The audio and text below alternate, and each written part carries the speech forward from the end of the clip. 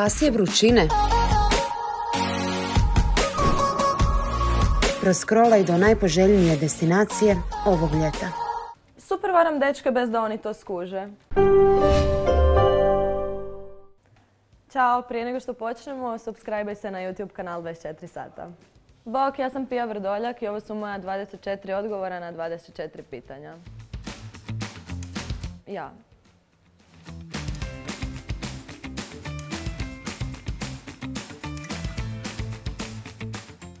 Pa ne bih rekla da je itko kriv, ali mama je definitivno imala utjecaj jer sam većinu vremena u djetinstvu provela u dječjem kazalištu gdje ona radi. I onda sam krenula na dramsku pa sam se tu valjda negdje i pronašla.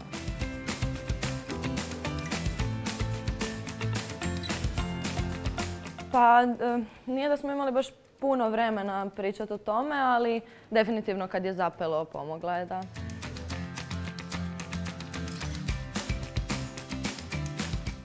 Možda. E, definitivno bi me to jako veselilo. Pija.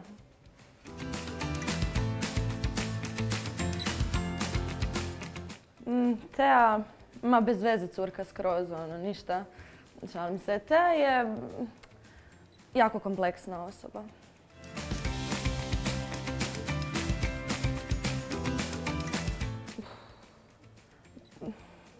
Pa mislim da to jako ovisi o projektu.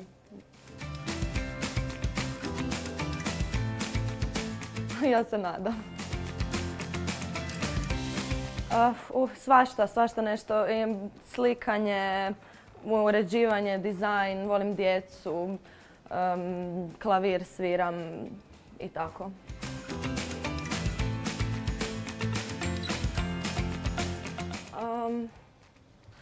Super varam dečke bez da oni to skuže.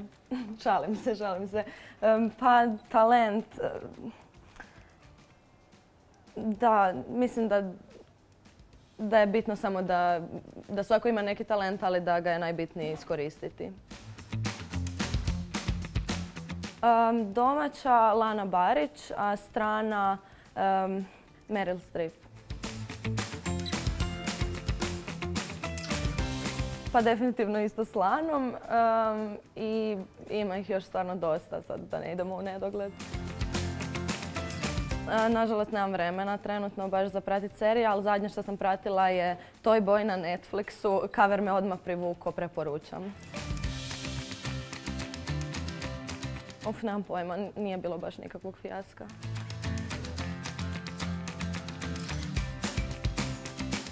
Ko je roman? Šalim se, super sam si.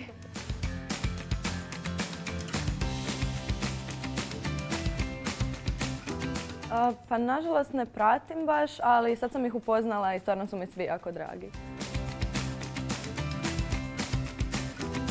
Pa definitivno ću radit puno okolo, tako da će mi biti posvuda.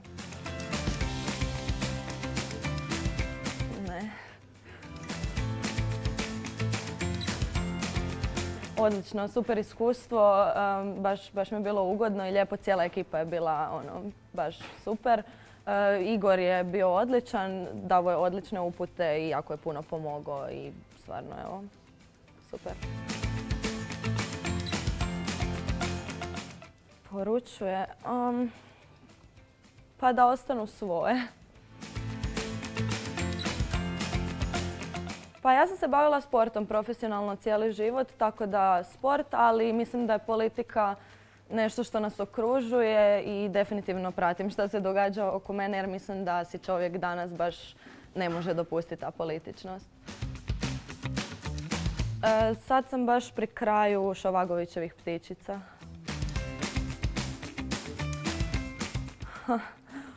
Uf,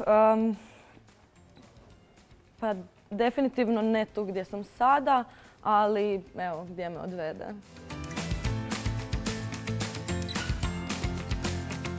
Koji žele postati glumci u Hrvatskoj, držte se sebe.